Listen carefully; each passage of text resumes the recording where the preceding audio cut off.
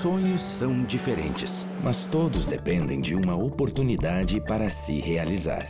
O governo do estado já matriculou 150 mil pessoas em cursos gratuitos de qualificação e beneficiou 40 mil pequenos empreendedores através do Programa Gaúcho de Microcrédito, gerando emprego e renda e aproximando os gaúchos dos seus sonhos. Promover a igualdade faz a diferença. Governo do Rio Grande do Sul.